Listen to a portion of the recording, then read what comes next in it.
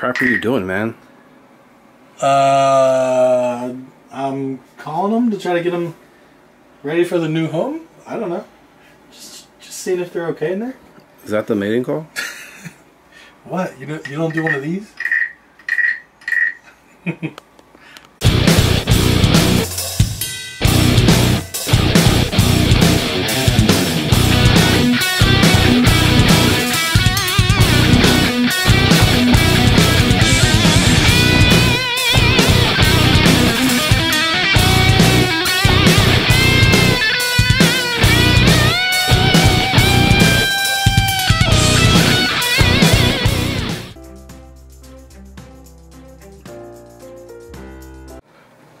Quick update.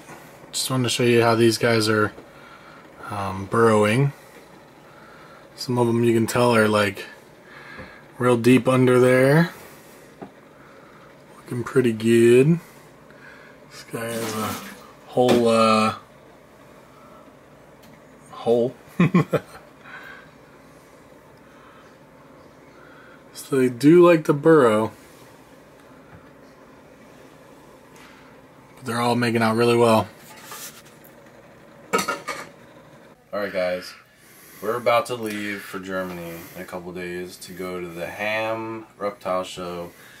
It's called Terroriska or something. Don't put that in your search engine, the FBI will show up. Um, but we need we made a promise to do videos every Wednesday at 4 o'clock, I think. Yeah, I'm getting a nod.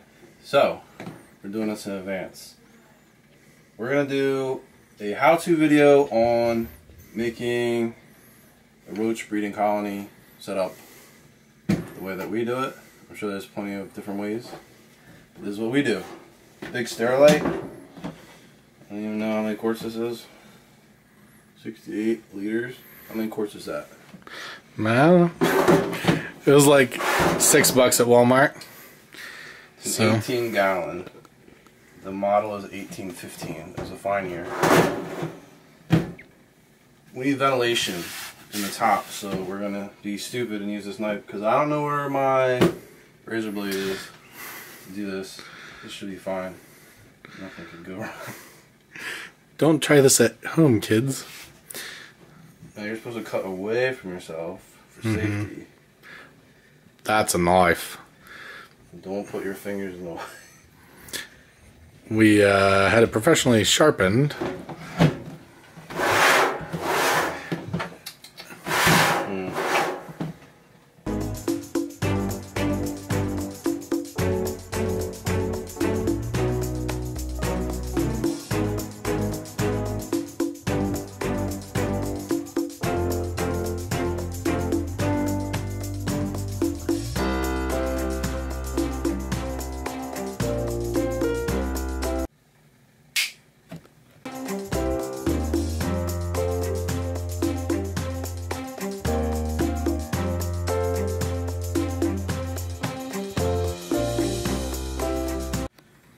So after you get your hole cut, and you go to the emergency room and you come back, flip this guy upside down, and this is regular nylon screen door screen.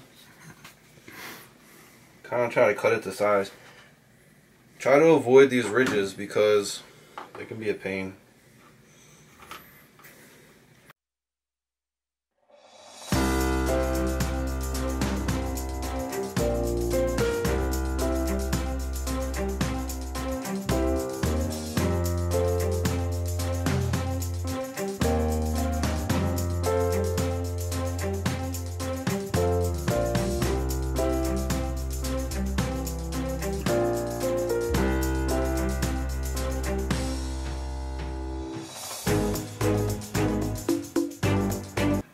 And we're good. Metal tape. These guys will eat through the plastic tape. Use metal tape. It's important. Okay. Taped it up. Perfect job. Look at that. Ooh. Now you have your ventilated top. And sometimes, I mean, realistically, these things don't fly. So, with a container this big, it's unlikely that they would get out, but they can and they do sometimes. Um, so sometimes we will leave a hole open. Instead of putting the screen on, we'd rather put a screen on just to ensure.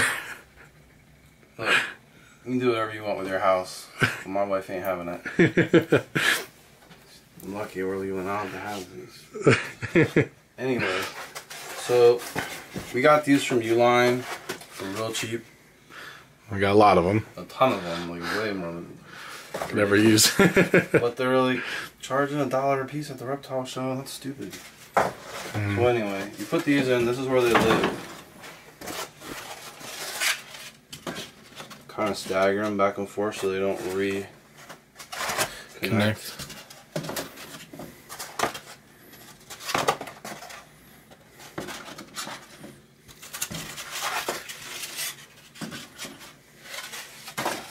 you need a bowl or something for food and water crystals. We have these extra flower pot dishes. These guys have to have water crystals. Make them a big batch. Water crystals.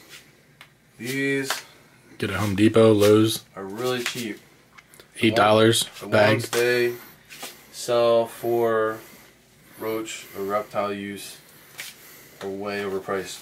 Just make sure it's 100% polyacrylamide. Did I get that right? Yeah. So good. Dump this into a big, like, a palmful of it into like a gallon of water. And it sit for like half an hour and it's done. Turns into these water crystals. The uh, roaches will eat these, get their hydration, and not drown, which is the key. So we usually do something like that every two days. Dump it in or so. We do splurge on good roach food because we're gut loading feeder insects for our animals and we want them to get all the vitamins and protein and everything they need.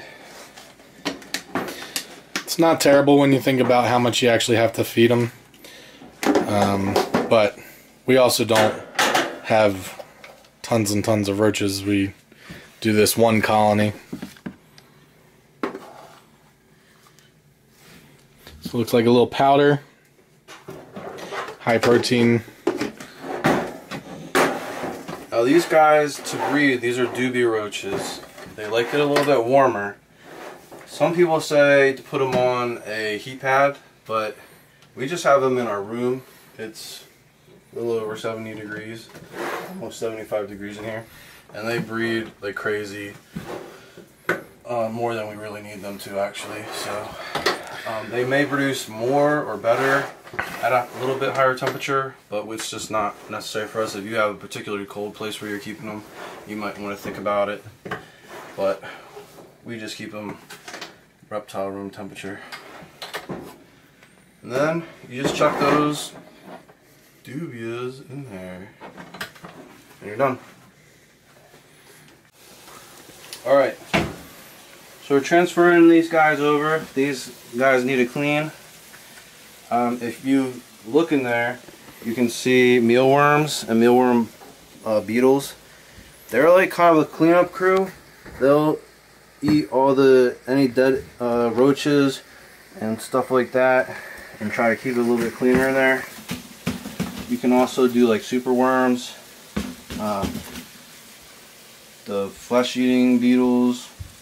I forget the scientific name of them right now, but maybe Ben can put that in the comments. Look, or there's something. two mating right there. They're definitely banging. The males are the ones with the long wings, and the females are the chubbier looking ones. Male, female. You can tell they're matured when they have this shininess, when they're like this. They're not matured. Juveniles. These are obviously breeding size. It's really funny. First time I ever saw that actually. Yeah, I've never really caught them. Hey, up. And you can see these beetles here. Good luck catching that. Ugh. Come here. Dang it. Dang it. you can see these little beetles here. Ah. Can't really. This is the beetle for the mealworms we have. And they'll just go. Sometimes people have fun like breeding a couple of these and they'll get a couple beetles and they'll have a bunch of meal uh, larvae. But um, these help clean up everything. So we're just emptying them into a fresh container. So you can see all this stuff in there. These guys are going into their new habitat. I wanted to point out these white ones here.